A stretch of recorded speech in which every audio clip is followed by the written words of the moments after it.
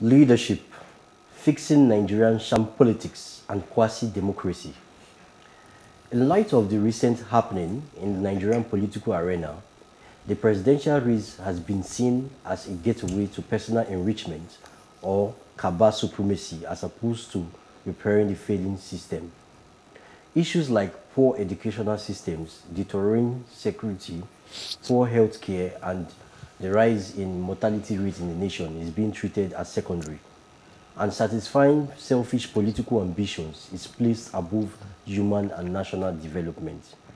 In situations like this, it is obvious that Nigerian democracy is quasi and upturned to the extent that the people which makes up the government do not count. A position as Herculean as the presidential seat is no small feat. Thus, needs a personality with a scalable and realistic agenda to fill. Issues concerning a state involves high-level tact, progress, policies, workable and democratic structures, and above all, a leader ready to bear the aforementioned as their obligation. What Nigeria needs at this critical stage of our existence is a leader who is capable of dragging it out of the dungeons of our current existence to a place where it can sustain herself and implement her national and foreign policies as key players on the world stage. Political parties should not be carried away by the over-monetizing of seals of forms for political aspirants.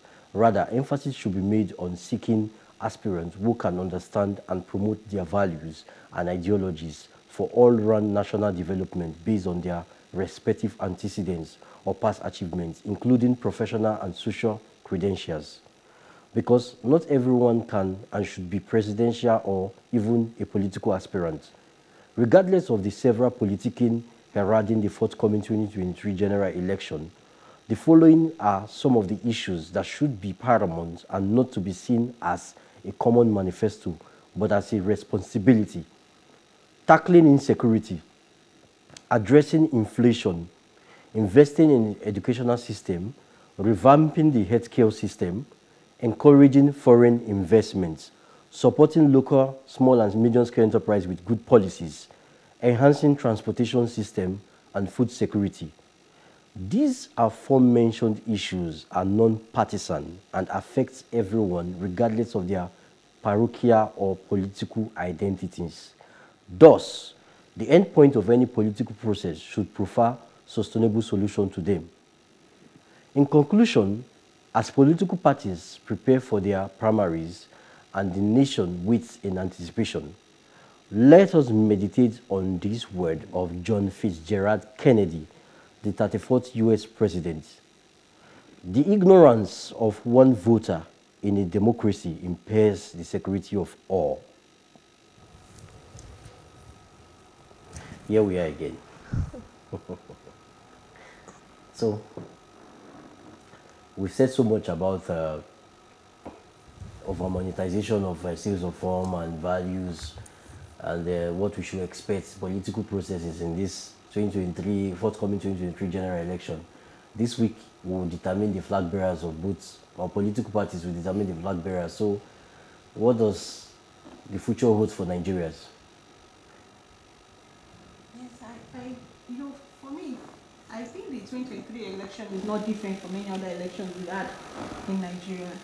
So what we need to do is to we, we still have the old people, the old set of people, the same the same people. Know, we need I don't know, there was a time uh, somebody was talking about um, bringing in young a young person and even today we see that the youths are not even ready to support that young person. Like Mr. Tolu mentioned that Nigerians were not ready. We're not ready because the same same people, the same old people, the same old policies, and it's just like a, a, a recycle of the same old leaders we had. So that's my We're not ready. think- That's what we keep hearing We're not every time. We're not going to be ready. I, I think um, what you mentioned um, about the fact that um, these issues, insecurity, um, inflation, um, education, healthcare, these are not supposed to just be um, become a political mantra for politicians. These are real issues we're faced with. Um, it's not in those days when you come out and say, um, part of your campaign um, words are, oh, I'm going to provide you with good roads. I mean, or provide you with um, education just for just so that people will. These are real issues that we're faced with. Um, on the back of that, it's important that um, as we begin to question the um, aspirants, we need to drill drill down, ask them real questions on, on how they'll be able to address these issues that are facing us because it's not just one Nigerian that is facing it or it's just a selected few. There was a time it used to be just a selected few, but now it has extended beyond the selected few. It's across the nation. Everyone can, one way or the other, um, at least I've heard or, have, or either have heard or either either is a victim has known a victim or has a victim in his family that, that has faced one or more of these issues. So these are real issues that we're faced with as Nigerians. These are the questions that we need to begin to ask these guys to know how well they will address it as they vie for these um, political um, positions.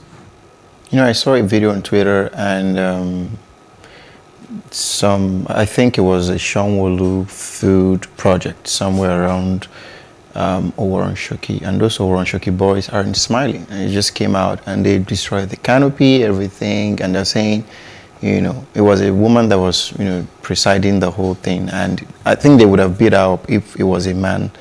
So they probably just gave her that respect because she was a woman, but they had to scatter all the umbrellas and they kept shouting, we don't need any food this time around, no food, don't give us food. You know, take your coolers, we're not hungry. I mean, these are like roadside people, you know, the regular touts and all. And for me, it's it's a good light. It's a good information. I mean, of course, like Ruth said, we're beginning to come out from that learned. In fact, we're already in learned helplessness, where you just get into that space. Um, they tell you we're going to fix the road, we're going to give you electricity. Well, you've heard that is now like cock and bull stuff, and then you begin to now come out of learned helplessness and say, you know what, I'm going to start, you know, doing something in my own space. But it still boils down to what Tolu would always keep saying. I think um, Eniton has also said that on the show is uh, values, right?